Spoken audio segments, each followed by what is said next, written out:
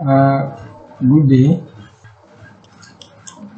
The topic we are about to discuss is uh,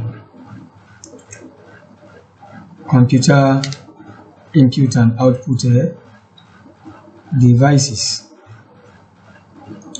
We shall be looking at the definition of input device, list of uh, input device or devices. We shall also look at the states. Well, we are going to state the future and uses of input of our keyboards. We are also going to look at we are going to be operating the keyboard although I know that will not be a new thing again to you students. We shall also look at uh, the states. I will state the future and uses of the mouse and then state how the mouse works. Together we are going to look at the uh, all this God's willing we intend to achieve under input uh, devices. Thereafter, we'll be looking at the output uh, devices too. We shall define output device, list output device. Then we are going to be looking at, you know, state the features of uh, output, uh, the features and uses of monitors, state the types of printers, of various types of printers. I want to state or mention some of them. We shall also discuss or state the differences between impacts and non-impact printer and then probably operate the printer as a way of uh, letting you understand how the printer operates. You sit back and listen well. Thank you. Students, let's look at input device. Input device are designed to allow us users of the computer send in data into the computer or into the computer system. So there are components of computers that are designed to enable us users of the computer send in sending our data into the computer. Similarly, input devices are characterized by the following devices which are peripheral in nature. They are one, the keyboard, two, the mouse, three, we have the scanner, four, we have the microphone, five, we have uh, the joystick, six, we have the light pen, seven, we have the webcam, eight, we have digital camera, are examples of uh, input devices. Now let's begin to look at these devices one after the other. We time may not permit us to take all of them but during the practical class at least we shall be discussing the very few ones we may not be able to discuss in the course of our explanation now. And let's look at the keyboard. The keyboard is a primary communication tool or device that allow users of this computer to send in their data into the computer or to communicate with the computer. There are different types of uh, keyboards. We have the standard keyboard, we have the enhanced or enhanced keyboard, we also have the wireless and we have the USB keyboard. Now, let's look at the standard keyboard. The standard keyboard is designed for beginners. Using the keyboard system at the initial stage of learning. This is to enhance easy identification of the keys, the various keys, in order to fast track typing. What I mean by fast tracking here is, you know, to enhance quick typing of their documents or give them the enablement skill, you know, to speed up typing of document. This type of keyboard has 101 keys on it. Then we have the enhanced keyboard. This is an upgrade of the standard keyboard. You know what I mean by upgrade? You have manufactured one or produced one and then later on you discover that um, there are certain things you have not been able or you will not be able to do with what you have initially manufactured or produced and then you try to add you know to to develop you know. That is what i mean by uh, upgrade. And that gives you a new product entirely at the end of the day.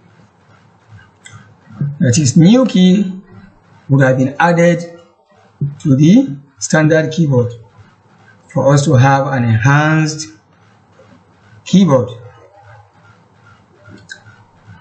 thereby modernizing it from the old keyboard that is the standard keyboard to now what we meant by enhanced keyboard or a more technologically oriented eh, keyboard. Then three, we have the wireless keyboard. Going by the name wireless, uh, it has to do with uh, keyboards that completely does not have wire to connect with your computer or laptop whichever. It's a type of keyboard in which you know it is linked or interfaced directly and then proportionally to the signal of the central processing unit. Just like your uh, remote control that's you know is directly professional proportional to the television or whatever has a remote that you are using. It could be your air condition it could be your tape it could be TV whatever. So the wireless keyboard.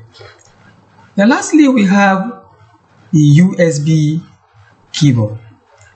The USB keyboard, USB means simply Universal serial bus, not box, as in B U S, bus. That's the one I'm talking about.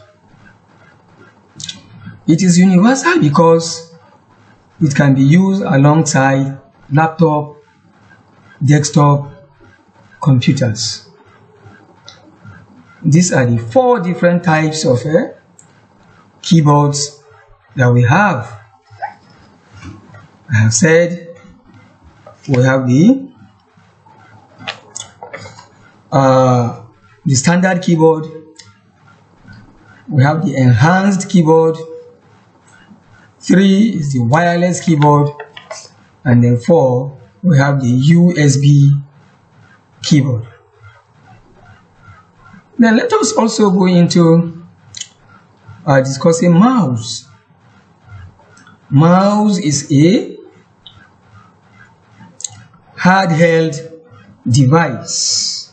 Hard in the sense that you know it is hard, it is a uh, you know solid, and you handle in order to use. So it is a hard held device. Held, you hold with your hand. Held device, which is designed. It is designed to fit your palm, your palm, as in your palm. It is designed to fit your palm. This is your palm. It is designed to fit your palm. That is the fitting. So mouses are designed to fit your palm. The mouse is also an input device. It performs the following functions. One, it has a left clicking,